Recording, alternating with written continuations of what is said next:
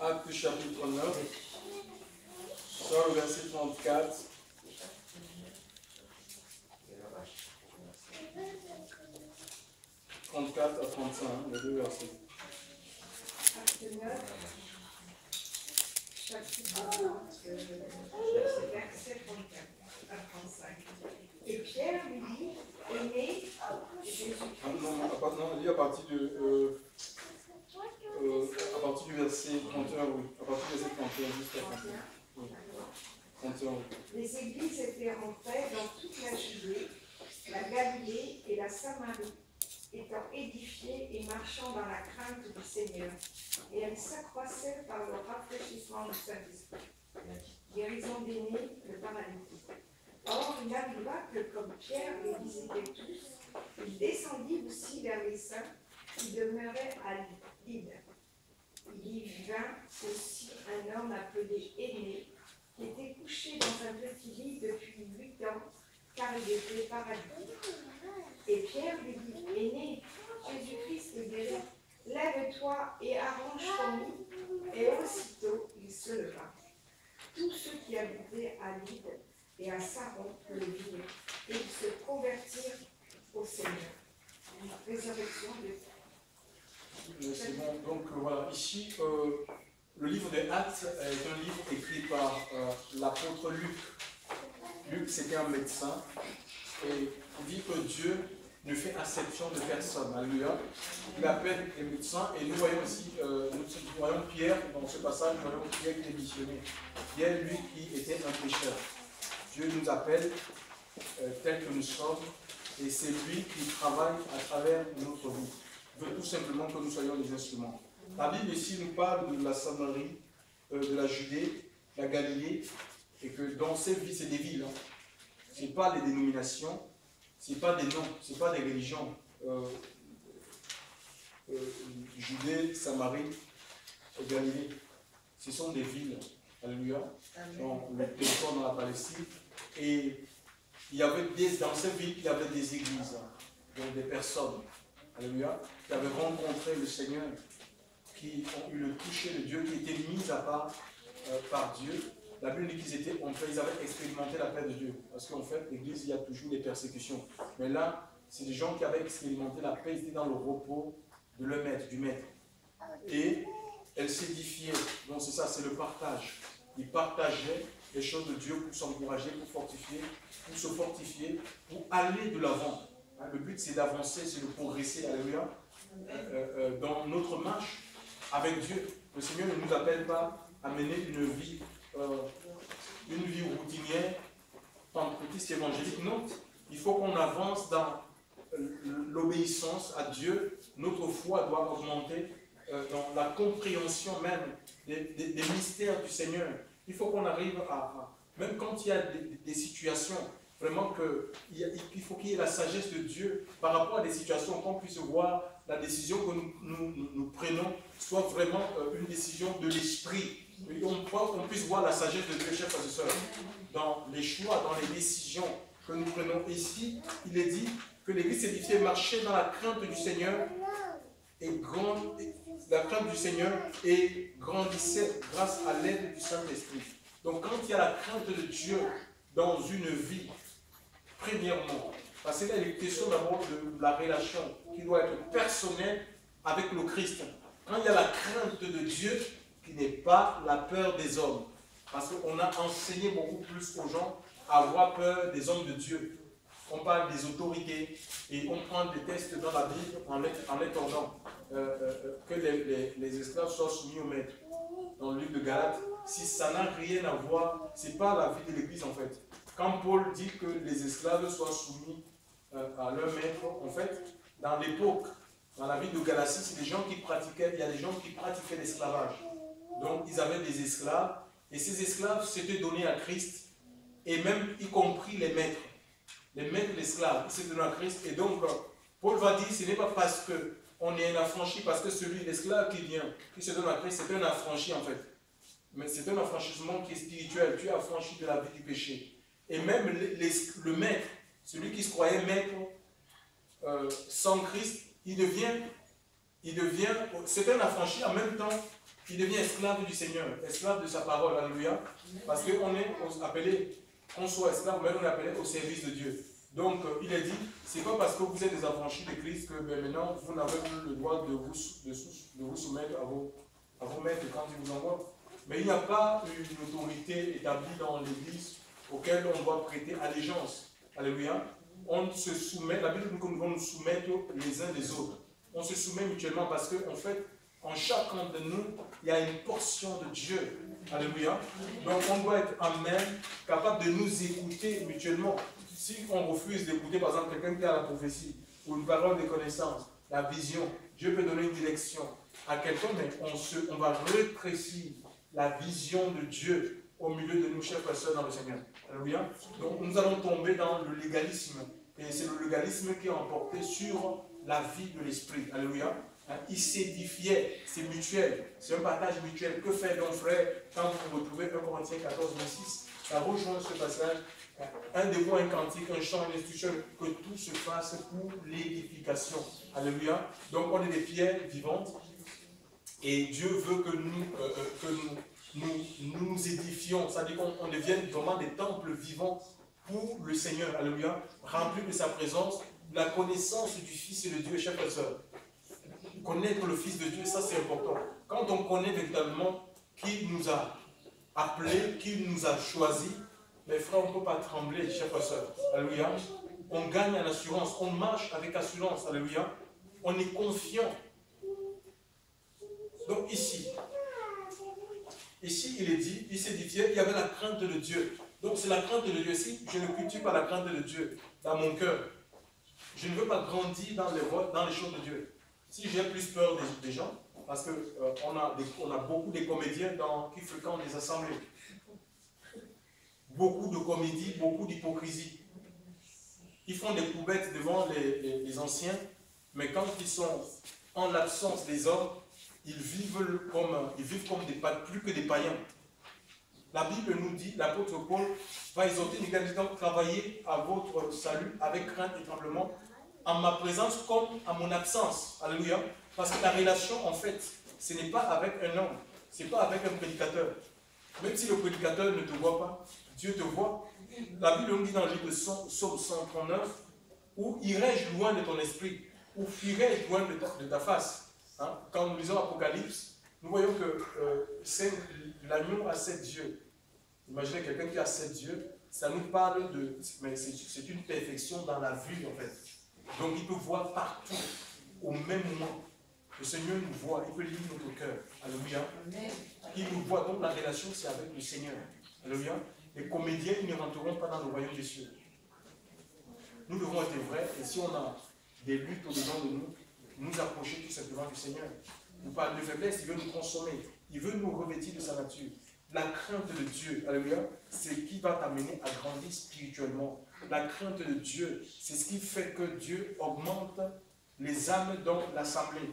Si une assemblée ne craint pas le Seigneur, mais comment voulez-vous que le Seigneur, imaginez une assemblée qui ne craint pas Dieu, comment voulez-vous que le Seigneur attire les âmes là où il y a le monde? Mais autant les laisser dans le monde. Si l'assemblée, l'église, c'est quoi l'église L'église, l'église qui, qui, doit être plus, qui est appelée à être plus sans cache ni rire, vit dans toutes sortes d'impuretés, chers frères et sœurs, vit avec son passé, chers frères et sœurs, mais le Seigneur ne peut pas. Les, femmes qui sont fatiguées avec les avortements dans le monde, elles vont venir. Si elles retrouvent que les saints en Christ, elles sont dans les avortements.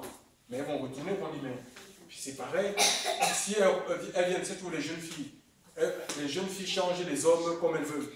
Elles changent des petits copains sans mais elles vont dire, mais c'est les mêmes choses que nous pratiquons là-bas. Les gens veulent l'idéal, ils veulent voir autre chose. Alléluia. Et le Seigneur, il a dit que le, la création attend la révélation. Soupir après la révélation des fils de Dieu. Ce sont les hommes qui veulent voir Dieu. Alléluia. Ils veulent voir la nature de Christ en chacun de nous. C'est ce qui va, le témoignage, c'est ce qui va amener ces personnes aussi à se donner. Oui, ils peuvent être donnés par la parole prêchée, mais frère, euh, la vie, la pratique de la parole de Dieu est plus parlant que euh, tous les serments qu'on peut qu'on peut donner. Alléluia. C'est ça les témoins et c'est l'Esprit de Dieu qui fait de nous, bien évidemment, des témoins. la Bible parle de Pierre dans le verset 32. Pierre parcourait tout le pays et descendit aussi, aussi rendre visite aux saints qui habitaient à l'île. Donc il parcourait, c'était un, un, apôtre. Pierre était un apôtre de Jésus. Il faisait partie des douze qui avaient été choisis, alléluia, par le Seigneur, seulement que la mission devenait de plus en plus pesante. Et Jésus va aller chercher sur la montagne toute la nuit. Il va prier toute la nuit, sous-entend 12 heures, pour avoir les 12 apôtres. Les 12, le chiffre 12 aussi, c'est ça me parle du fondement. Alléluia. Et l'Église est édifiée sur le fondement des apôtres. D'après Ephésiens 2, verset 20, Jésus-Christ, les apôtres et les prophètes, la véritable Église. Fondement des apôtres et des prophètes, quand on parle des fondements, ce sont les enseignements. Les enseignements des apôtres et des prophètes, Jésus étant la pierre angulaire, celle qui porte, celle qui est appelée à porter cet édifice. Alléluia. Et nos vies sont comme des édifices spirituels. Nous sommes des édifices spirituels qui sont, et, dans tout édifice, regardez cet édifice, il y, a, une fondation, il y a un fondement. C'est ce qui porte, c'est ce qui porte cette maison. Même si le, le, fondement, on ne le voit pas, ou la fondation, ça ne veut pas dire qu'elle ne fait pas partie de la maison. Elle est là, alléluia, et elle a, elle est, cette, cette fondation, ce fondement est, proportionné au, poids, au poids de, la maison, le poids de l'édifice. Vous ne pouvez pas construire un, deux, deux niveaux avec le fondement ou la fondation d'un plein pied. Ça, ne tiendra pas. Alléluia. Et, la véritable Église, si elle a pour fondement Christ, il va dire dans Acte, euh, dans Matthieu 16, je te dis, tu Pierre, et sur toi, je bâtirai mon église, les portes du séjour des morts ne pourront pas contre, contre elle. Écoutez-moi bien, une église qui est bâtie par Dieu et pour Dieu, chers frères et sœurs, cette église, elle est solide, elle est forte. Satan peut venir, il peut, il peut fréquenter cette église. Et actuellement, on a une sorcière qui vient au milieu de nous. Une sorcière, une femme qui a vendu son âme à Satan il y a une femme qui nous fréquente. Et c'est la deuxième femme comme ça. Il y en a une, grande maçonne. Vous savez, le diable utilise deux catégories de personnes. Il peut utiliser des personnes qui sont riches. Parce qu'ils savent que les pentecôtistes sont friands d'argent. Les nouvelles églises, ils ont besoin des bâtiments, ils sont dans la vision des bâtiments. Et ils vont vite, euh, ils vont céder. Ils ne vont même pas réfléchir, même pas consulter Dieu. Parce que tous les prières, Seigneur, donne-nous l'argent. Donne-nous l'argent, envoie-nous les bâtisseurs pour bâtir euh, mais l'œuvre du Seigneur est bâtie, elle est bâtie par le Saint-Esprit. C'est dans les vies, ce n'est pas des bâtiments. Au-delà des bâtiments, ce sont des vies. Alléluia. Dieu construit des vies, chers frères Alléluia. Et, et ils tombent dans. Ils, se font avoir par cette franc-maçon-là. Ils finissent par verrouiller le message. Où on te dit, bon, il ne faut plus prêcher ça. Ne prêche plus ça.